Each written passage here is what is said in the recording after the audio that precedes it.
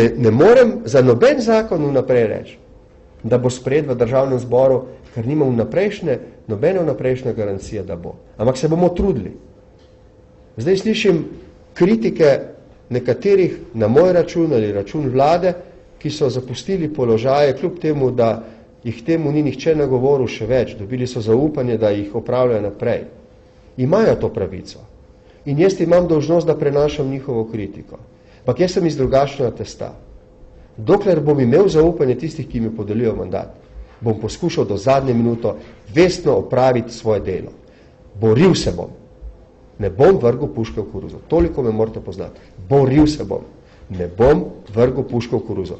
Vem, da je najlažje v teh težkih pogojih vreč puško v koruzo in, in govoriti tistim, ki ustrajajo na okopih borbe za to, da, da se prebijemo iz obroča, kako naj se borijo. Jaz sem tisti, ki se borim in se bom boril naprej. Če bom in koliko bom, bom imel mandat. Sem demokrat in če mi bodo izrekli na zaupnico, sem to dolžan spoštovati in upoštevati. Vendar sem tudi borec in se bom boril za to, da bi Slovenija brez politične krize prišla morda čim prej do nove vlade, s polno legitimnostjo, ker se zavedam, da je do, do neke mere, eh, do, do pomembne mere zaupanje ljudi v to vlado okrnjeno.